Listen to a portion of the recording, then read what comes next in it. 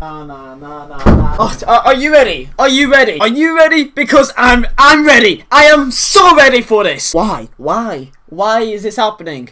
Why is this happening? I'm going to break down. So I've just come back from college, okay? So in the last week, there's been some speculation about a particular Joey Barton. A particular Joey Barton that is very, very important to Burnley. For me, for what I have seen in the last year, we would not be anywhere near promoted without Joey Barton this year. That's a 100%. If you don't support Burnley, if you don't watch them, let me tell you what he does, okay? He wins every single goddamn header. Or if he doesn't, he puts 110% into everything. Every single tackle. If you're a Burnley fan, you can support me on this one, okay? Let's say your home games. Every single home game since he started against Reading, he's always had been like smashed, crashed into, broken leg tackle into every single game. He gets knocked the fuck down. And then he just keeps on getting back up again. Just keeps on going back up. He's like an Iron Man playing football and putting every single ounce of effort into everything. That's what we need. That is what we need in the Premier League. We are on a cliff and we are jumping straight out of it. I'm just tipping backwards. What happened the last time that we was in the Premier League? What we got relegated. Wanna know why? One of the reasons, one of the main reasons is that we didn't have a main season. Now, unless if we sign Paul fucking Pogba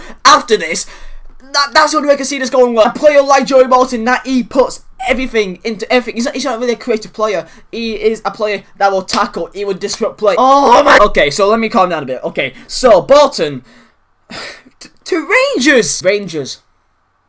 If he went to Newcastle, if he went to another Premier League club, then I'd be like, okay, fair enough. And it went to Newcastle, big big club, fair enough. Then if he goes to no Premier League club, okay, then well, I'd be pissed off. At least he's furthering his career, I guess. But he's is he really with Rangers? For comparison, okay, Ross County, Kilmarnock, Manchester United, the Olympic fucking stadium. Is there a bit of a contrast there? And wait a second, Rangers fans, I know they'd be Rangers fans. I know they I know they will be Rangers fans watching this. The person that you're getting is someone that can potentially keep us up in the Premier League. He's not the all and end all. I know that Burnley fans are watching saying, oh calm now, we can just get another player. What other player that we will not have to spend fucking three million for? We can get Joey Barton. We've already got him. All we got to do is just give him a new contract.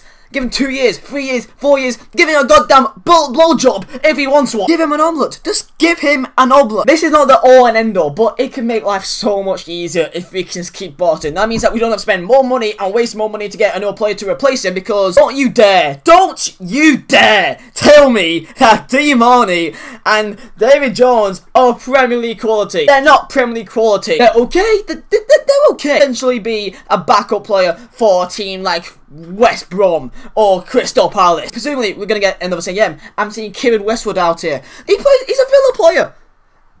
Have you just seen what Villa's just done this season? If, you, if you're gonna fuck off to Rangers, just go. I love Barton, man. People say, oh, well, you hated him before, now you, now you love him. When you have a player that gives everything, 110% into every single game. He, he's close as well because he actually wins the tackles. He doesn't just try, but is still shit. He tries and he dominates. How can you hate a player like that? And that's exactly what we did not have in the Premier League. We have no actual wingers. We have George fucking Boyd. He can run. What's he do? Mo Farah can run. I'm pretty sure he's not brilliant football either. I swear we considered like 15 corners last time. We best sort that out. Ah, oh, just Rangers? Rangers are a big club, don't, don't get me wrong. I'm not saying that, oh yeah, Burnley's bigger than Rangers. Champions League, bollocks, everything, every single bit of that. Premier League. This is the Scottish League.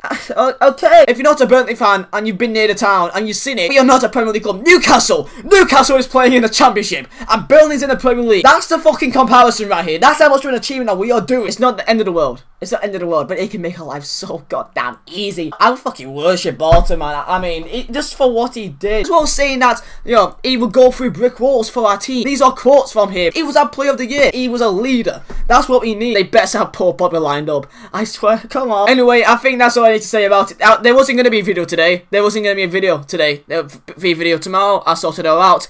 But there's a video now. Joey Barton. What? If you're a Rangers fan and you're watching this right now, I just want to see us stay up in the Premier League. And with him in our team, we can do so much better than what we did last time. But it makes our lives a lot harder. If you're a Rangers fan, you're watching this, have fun with him because he is, he'll give you everything into every single game. Anyway, lads, smash that button if you guys enjoyed. I'm about to just go have a goddamn coffee with my Burnley mug. Let's go, lads.